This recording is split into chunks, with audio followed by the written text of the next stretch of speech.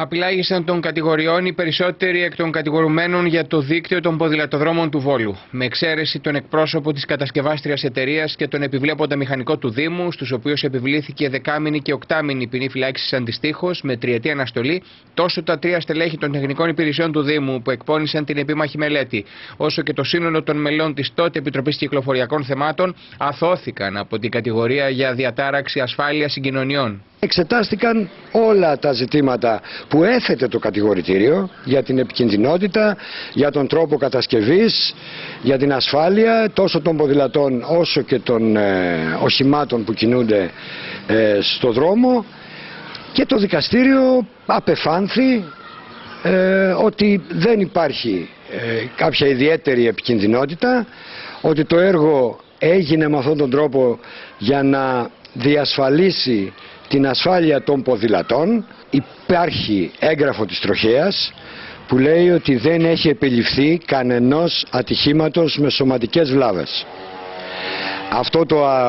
έγγραφο της τροχέας το οποίο το έχουμε στα χέρια μας και κατατέθηκε στο δικαστήριο ήταν ένα από τα στοιχεία που εξέτασε το δικαστήριο και το εξέτασε λεπτομερώς, δηλαδή ρώτησε και ξαναρώτησε περί ατυχημάτων. Να καταλάβουμε ότι αυτή η πόλη έχει πολύ μεγαλύτερα και σοβαρότερα προβλήματα από το να ασχολείται κάθε πέντε λεπτά με τους ποδηλατοδρόμους οι οποίοι αν αφαιθούν στην ησυχία τους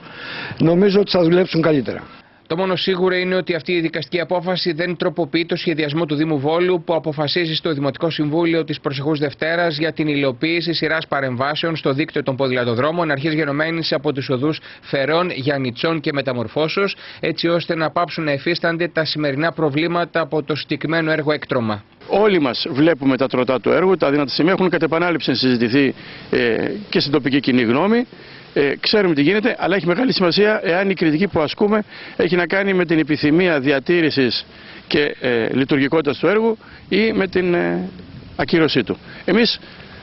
φρονούμε ότι αυτό που επήγει είναι η πλήρης αποκατάσταση στο μέτρο των δυνατοτήτων φυσικά. Γι' αυτό και μίλησα προηγουμένως ότι και φέτος διαθέτουμε από ιδίους πόρους 50.000 ευρώ, ώστε να ξεκινήσει επιτέλους για να αποδοθεί στην τοπική κοινωνία υπέρ της ήπιας κυκλοφορίας.